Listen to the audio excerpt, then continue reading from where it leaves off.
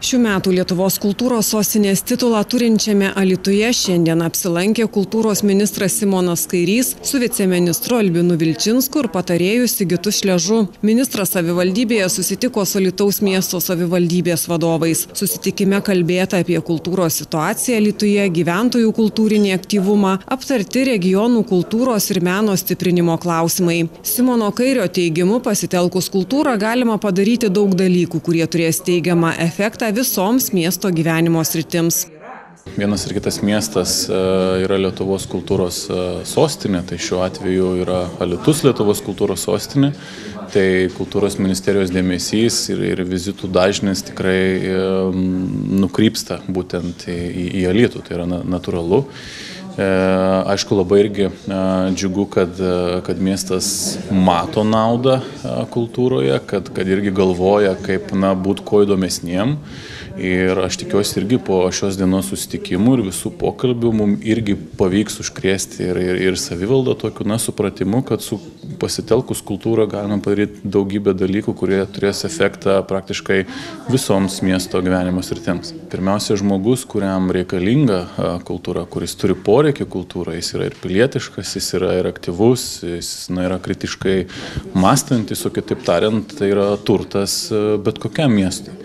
Ir aišku, tiek karantinas turėjo savas pasiekmes, tiek yra įvairių kitų iššūkių ir būtent tą kultūros vyksmą tikrai reikia stiprinti. Kita vertus, tai yra tokia, na, universali vertybė, kuri tikrai yra svarbi ir pačiam žmogui, ir, ir pačiai, na, bendruomeniai. E, ir tiesiog suteikia gyvybę, o kai tu esi gyvas, įdomus, tai tu esi užprogramuotas sėkmė. Šiandien turėjom labai įdomų diskusiją su ministru.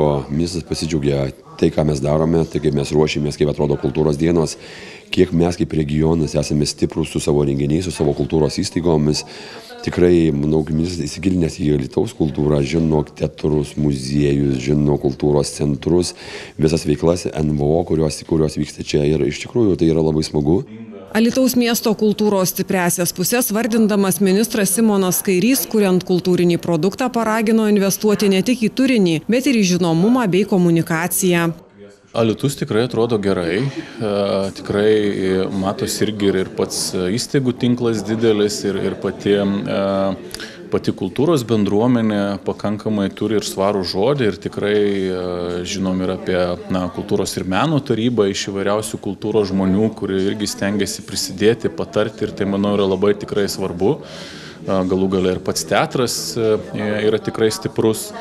Ir Bet aš labai tikiuosi, kad irgi tiek Lietuvos kultūros sostinės metai, tiek irgi supratimas, kaip svarbu yra pasitelkti ir būtent nevyriausybinį sektorių, būti būt atviriems, stengtis, kad tas kultūros vyksmas būtų kuo labiau decentralizuotas, kad jau ne tik žmogus ieškotų kultūros, bet ir pati kultūra ieškotų žmogaus.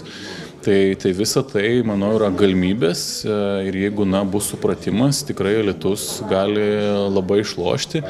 Mm ką pastebiu, kas yra ir gerai, ir blogai, kad miestas iš tikrųjų gal netiek investuoja į žinomumą, į, į komunikaciją, bet investuoja gal pakankamai į turinį. Bet irgi daryti tai ir niekam garsiai nerėkti apie tai irgi turbūt nėra, nėra sprendimas. Tai aš irgi taip palinkėčiau irgi tą E, pagalvoti ir apie tos žinios skleidimą, nes iš tikrųjų Lietus turi ką pasakyti, Lietuvos kultūrinis gyvenimas irgi yra įdomus, turi ką pasakyti kitiem ir, ir e, iš to tikrai galima e, daug išlošti. Kalbėdamas apie ministerijos prioritetus dėl kultūros plėtros regionuose, kultūros ministras pabrėžė aukštos kokybės kultūros prieinamumo regionuose svarbą. Pirmiausia, tai be abejo tas banaliai skambantis prieinamumas, kad na, tos aukštos kokybės kultūra turi būti nebūtinai tik tai Vilniui, Kaune ar Klaipėdai. Bet čia vėlgi reikia suprasti, kad ir tie regionai nėra kažkur pamiršti, jie jau ir patys sukuria daug gražių dalykų, Lietus irgi e, nėra išimtis. Bet iš ministerijos pozicijų žiūrint irgi yra planuojamos e, tam tikros programos, kalbant apie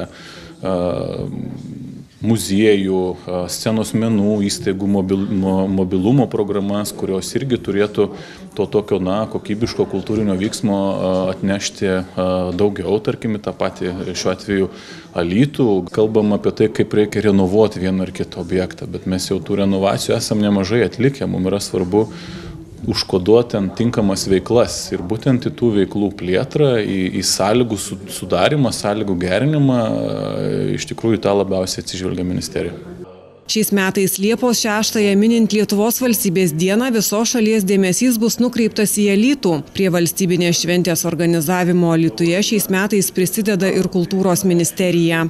Šiais metais dėmesys yra Alytui, ta pati pagrindinė šventė, himno gėdojimas su, su televizijos transliacija ir kitų visų dėmesio, jinai susikoncentruos čia, Alytuje. Šiais metais mes turėsim labai daug renginių ir tikrai gerų ministras naujienų atvežė, kad ir Liepo 6 turėsim ypatingą įspūdingą dieną, kad ir ministerija labai smarkiai prisideda, kad mes galėtume Liepo 6 dieną švęsti visi kartu ir visa Lietuva švęsti iš Alytaus. Tai tas yra irgi labai smagu. Tai tie renginiai, kurie yra, kurie numatyti, matyti, kur jau buvo, kur ir bus. Ir ypatingai tuo šiltuoju laikotarpiu ir tikiuosi epidemiologinė situacija leis mums rinktis.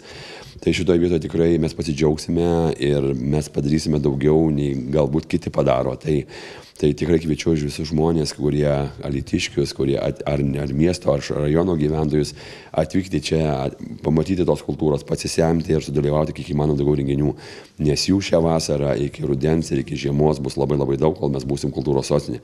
O kai jie nebūsime, vis tiek turėsime tas pačias įstaigas, vis tiek turėsime įdomių renginių, tų pačių tradicijų, kurias mes visai tęsime.